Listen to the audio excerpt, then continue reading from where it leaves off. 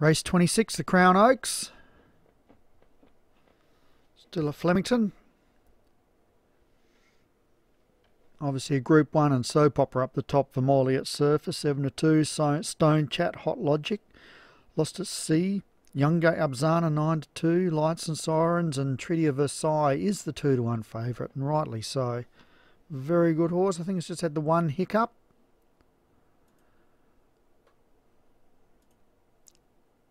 Racing. Not a bad start. Treaty of Versailles leads, but now overtaken by Soap Opera and Hot Logic. Should be no excuses in this small field of seven.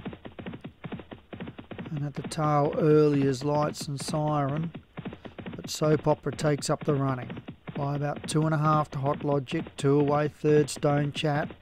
Half away is Treaty of Versailles, the pre-race favourite.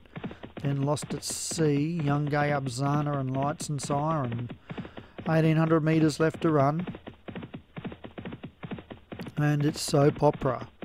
Bowling along. The Molly at stable. It's in front of Hot Logic for Steve Rann. Looks like Lost at Sea is a Steve Rann horse as well. And then we have Stone Chat, Treaty of Versailles, Young Gay Up, Young Gay Up Zana, and Lights and Siren. 1300 metres to run. They this bend and the six furlong chute up there, the 1200 metre chute. And it's soap opera in front still from Lost at Sea and Hot Logic. Treaty of Versailles. then uh, Stone Chat up, Young Gay up, Zana and Lights and Sirens. Now round the home turn here in the Oaks and soap opera by three quarters to Lost at Sea. Just um, getting caught out for pace there. Hot Logic as the favourite rounds the field and it's still soap opera with 600 to go.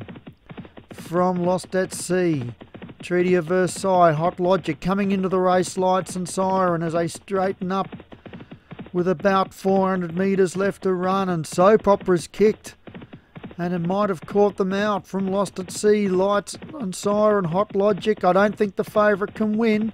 It's Soap Opera in front as they come on down to the 200 from Lost at Sea. Here comes Lights and Siren and Lost at Sea. It's Lost at Sea, Lights and Sirens on the outside. They're going head and head, nose and nose. Lights and Sirens just in front and wins from Lost at Sea, Hot Logic. We'll wait for the official card here. It's very close on the line, just a head bobber. Ooh, we'll still wait. This could be a dead heat.